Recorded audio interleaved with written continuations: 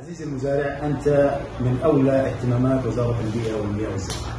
ولذلك ولله الحمد خطط الوزارة الممثلة في وكالة الوزارة للزراعة مشكورة على اختيار مزرعة كي تكون شبيهة بالمدرسة. يتم التعلم فيها للممارسات الزراعية الجيدة التي نسعى جميعا إلى أن يكون المزارع لديه الإلمام الكامل بطرق الزراعة السليمة بمعرفة مواسم الزراعة الحقيقية بكل ما يتعلق بأمور الممارسات الزراعية الجيدة. المزرعة هذه تعتبر مزرعتكم إرشاديا مزرعتكم علميا وعمليا. أنا الحقيقة أثق في جهودكم أثق في تعاونكم أثق في تفهمكم لهذا الموضوع. أيضا أثق في في في تطويركم لزراعاتكم في مزارعكم من خلال الممارسات الزراعية الجيدة.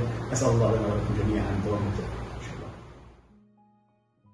تم بحمد الله اليوم توقيع مذكرة تفاهم بين وزارة البيئة والمياه والزراعة ممثلة من فرع الوزارة في منطقة مكة المكرمة؟ وصاحب مزرعة مدرجات الورد بحيث يكون الحقل المنطلق لمزارعي الورد في المنطقة ومزارعي مناطق المملكة من خلال الإرشاد الإلكتروني والبث المباشر.